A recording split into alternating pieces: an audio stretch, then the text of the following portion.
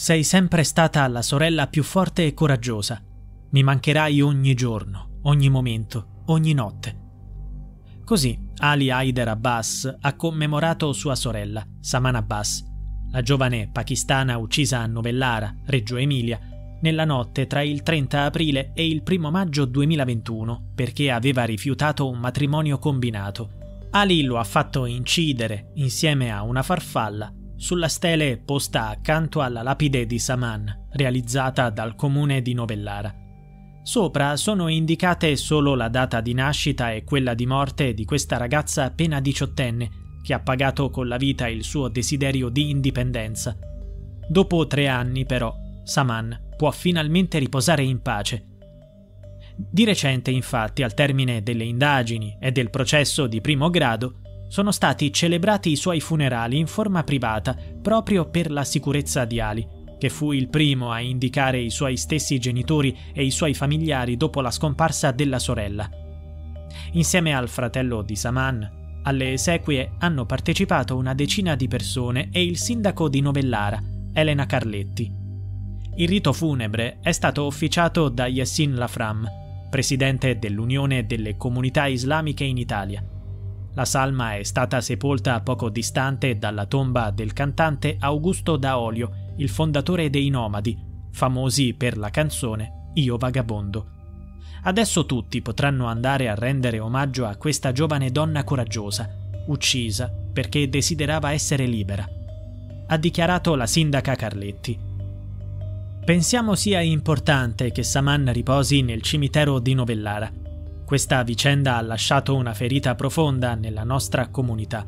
Novellara è accogliente e qui tante comunità di origini diverse convivono armoniosamente da tanti anni. Mai avevamo visto tanta violenza. Dopo il funerale, in serata, si è tenuta anche una partecipata fiaccolata in suo onore. Per la morte di Saman, in primo grado sono stati condannati all'ergastolo il padre, Shabar Abbas, la madre Nasia Shahin, attualmente latitante. Secondo i giudici, Shabar è considerato il mandante del delitto. Sua moglie, consapevole delle sue intenzioni, non ha agito per fermarlo e addirittura avrebbe accompagnato Saman dai suoi aguzzini. Nessuno dei due è ritenuto l'esecutore materiale dell'omicidio che, secondo gli inquirenti, è stato commesso dallo zio di Saman, Danish Asnain, e da due cugini della diciottenne, Ikram Ijaz e Nomanulak Nomanulak.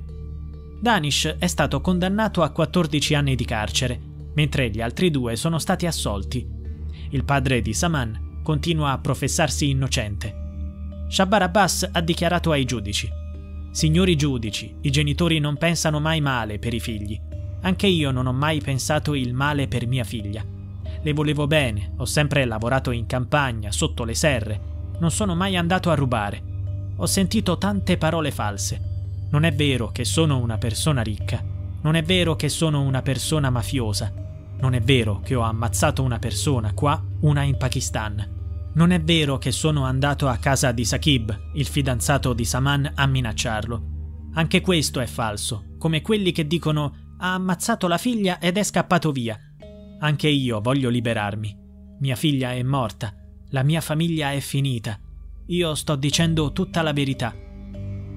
Ma se lui fosse veramente innocente, come sostiene, chi ha ucciso Saman e perché?